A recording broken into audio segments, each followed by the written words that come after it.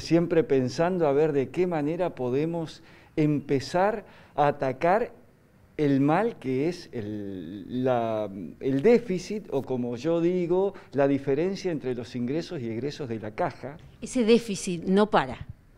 No, no, no, no para, obviamente. Nosotros lo medimos en la moneda que tenemos, que es la moneda nacional. Y no para porque, porque tenemos cada vez más jubilados y tenemos cada vez menos aportantes. ¿Por mes cuánto déficit tiene la caja? No, nosotros tenemos una cifra muy importante, supera los 2 mil millones de pesos. Nosotros pensamos que este año vamos a superar los 20 mil millones cómodos. Anuales. Anuales. Eh, yo diría que alrededor de 22 mil. El presupuesto hablaba de 19 mil 19.100, me parece, pero imagínese que con los aumentos y demás esto se ha incrementado.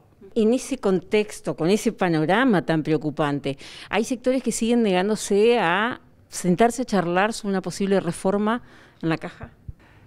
Yo le diría que la gran mayoría sabe que en algún momento nos vamos a tener que sentar a charlar, ya sea en este gobierno o en el que viene, no mucho más allá, porque esto realmente es preocupante.